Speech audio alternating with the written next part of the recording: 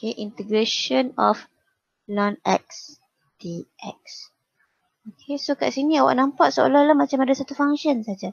ln x. Okay, sebenarnya dua eh. Mana satu lagi? Satu kat sini. Tak nampak? Dia tak tulis lah.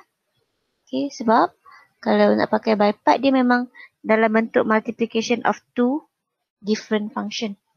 Okay, so contohnya kat sini algebraic dengan trigo. So maksudnya yang ini log dengan something lah.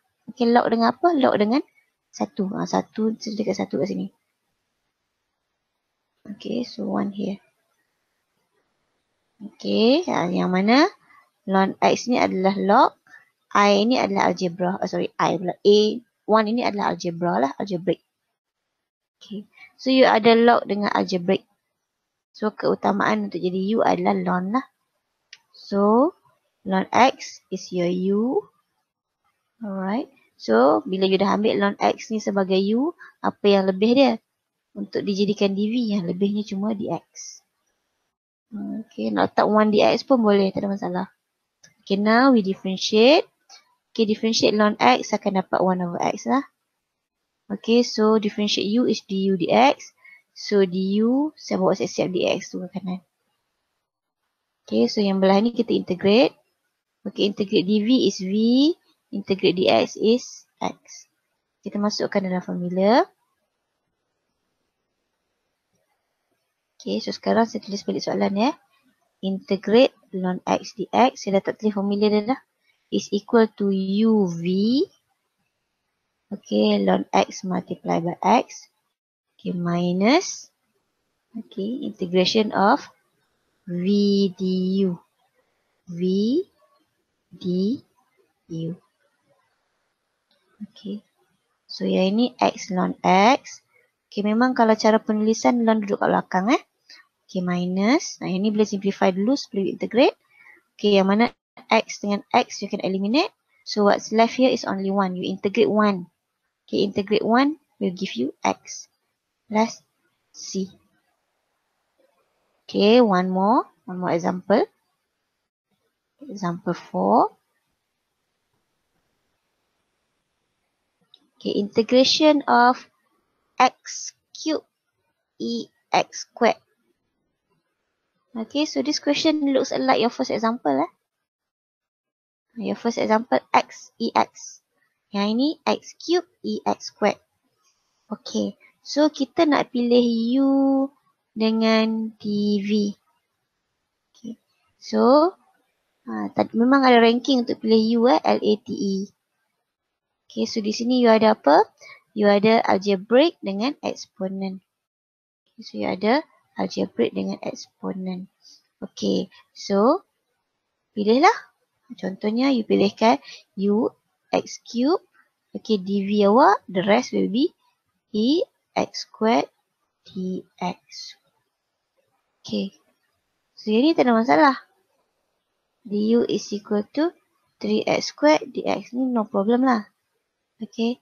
But this one, kalau ada yang alert, this one is problem. Okay, apa problem ni cikgu? Okay, this one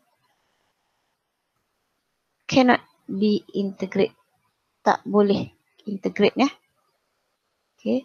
Sedangkan syarat mula-mula tadi nah di sini nah, syarat pemilihan u dengan dv u mestilah yang boleh differentiate.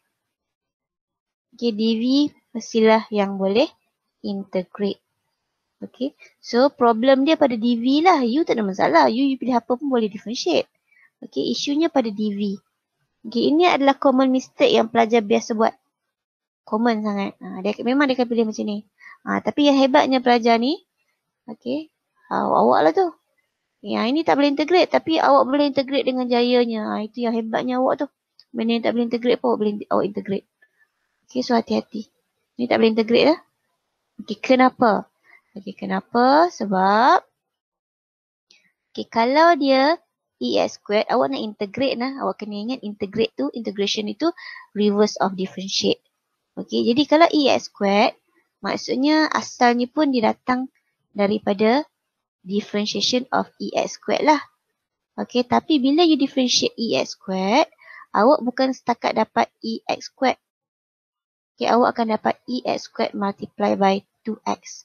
So maksudnya kalau nak integrate EX squared, depan dia kena ada 2X. Baru boleh integrate. Okay, kalau tak ada 2X, tak boleh integrate. Okay. So, kalau soalan awak macam ni, yang ni boleh integrate. Ha, maksudnya dia kurang dua saja. Tak apa, awak boleh wujudkan. Awak boleh daratkan dengan dua per dua. Dua ni letak di sini. Dua ni letak kat luar. Okay. Tapi kalau awak ambil macam ni saja, yang ini tak boleh integrate. Okay. Ha, awak kata cikgu tak boleh ke kalau saya darabkan dengan 2x per 2x? No, tak boleh. Sebab apa? Sebab nanti akan ada 2x di luar. Mana boleh ada variable di luar integration awak? Tak boleh. Okay, value tak apa. Okay, kalau tulis macam ni.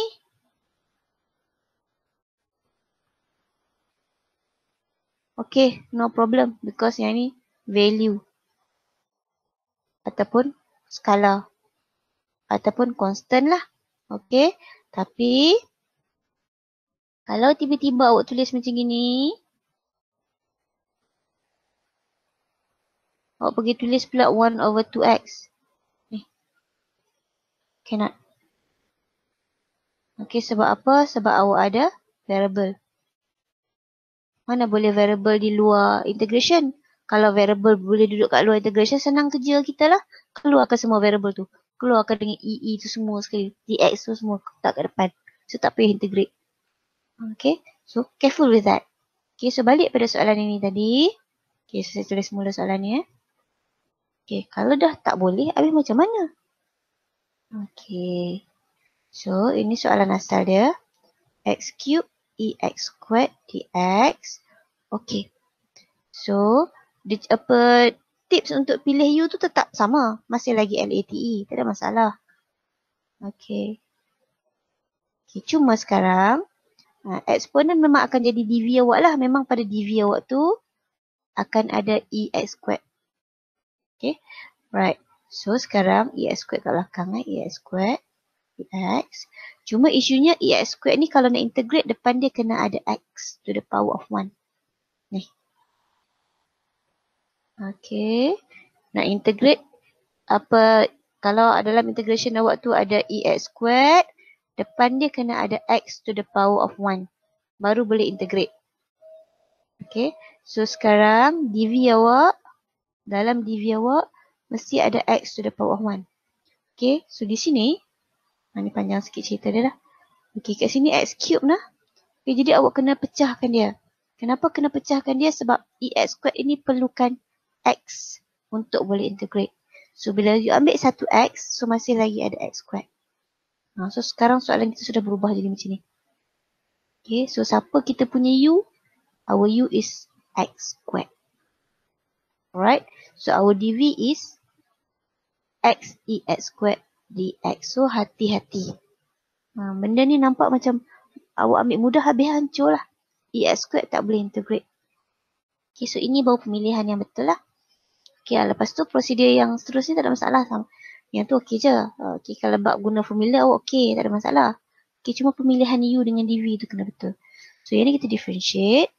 Okay, du is equal to 2x dx. So yang ni kita integrate. Ha, yang ni proses nak integrate terpulang lah. Nak pakai formula ini pun boleh. Boleh pakai formula ni je. Okay iaitu formula f prime x e f x dx. Okay yang mana akan menghasilkan e f x. Ha ni. Tu depan e f x kalau nak integrate kena ada f prime. Okay so e f x ini f x awak. Depan dia mesti ada 2x. Awak punya tak ada dua, boleh wujudkan dua. Okay. Ha, nak wujudkan kat line ni pun boleh. Ataupun kat bawah boleh. So, saya, kalau saya letak dua di sini. Nampak lah sini color lain. Okay. Kalau saya letak dua kat sini. Ha, saya kena letak 1 over 2 kat luar dia lah. Okay, so left will give you V. Uh, so 1 over 2 dia follow 2 saja. This 1 over 2. So ini bentuk ini sudah Okay, bentuk f prime x, e f x yang mana menghasilkan e f x. Menghasilkan EX squared. Okay. Ha, satu lagi. Nak ingatkan. Bila soalan bentuk macam gini. Okay, bila soalan bentuk macam gini. Kebanyakan pelajar cenderung untuk pakai substitution. Ada yang tanya. Tak boleh ke cikgu saya pakai substitution dalam soalan ni? Boleh. Tak salah. Cuma bila pakai substitution. Kejauh akan jadi sangat panjang. Okay, sedangkan formula ni ada, kenapa tak pakai? Tak ingat cikgu, tak ingat sebab tak pernah pakai. So kalau nak ingat, kena sentia, kena rajin pakai lah, baru ingat. Okay. So ni dah lah pakai integration by part, tiba-tiba nak pakai substitution pula nak dapatkan V tu. Awak memang akan buang masa lah. Okay, so tak perlu. Pakai formula ni saja. Okay, so itu cuma jawapan V lah. So kita masukkan formula balik. Okay, integration of x cube e x squared dx is equal to uv 1 over 2 ex squared minus v du. So your du is 2x dx. Okay, so saya modify sikit ya. Okay, 1 over 2 x squared ex squared minus saya keluarkan setengah. Maka ikut boleh potong je ni. Okay, ikut, ikut awak lah awak nak buat macam mana. Okay, saya tak potong. 2 dengan per 2 tu. Ha, kenapa? Sebab ini memang dah bentuk ni. Okay. Ha, dia pun memang dah dalam bentuk formula yang cantik. Okay, so yang ini memang bentuk f prime x e f x. Okay, f prime x e f x. Ini fx, x squared depan dia cantik mesti 2x. Kalau x cube depan dia 3x squared. Okay, kalau x depan dia 1 atau tak ada apa-apa lah. Okay. So 1 over 2 x squared e x squared minus 1 over 2 follow through saja. Okay, ini bentuk ni. So dia dapat e f x akan dapat e x squared plus c. Okay, uh, so yang ni memang lain daripada yang lain sikit lah. Uh, the third one ni memang lain daripada yang lain. Okay, uh, so dia trick sikit. So hati-hati. Okey, apa-apa pun kena balik pada original ni. Okey, iaitu dv mestilah function yang boleh integrate. Okey, so kena hati-hati betul ke awak integrate tu? Okay, ha, sebab tu nak tahu jawapan awak ni betul ke tak kena differentiate lah. Ha, sebab tu lah saya tekankan awak pengetahuan differentiation ni. Okay, pentingnya pengetahuan differentiation tu.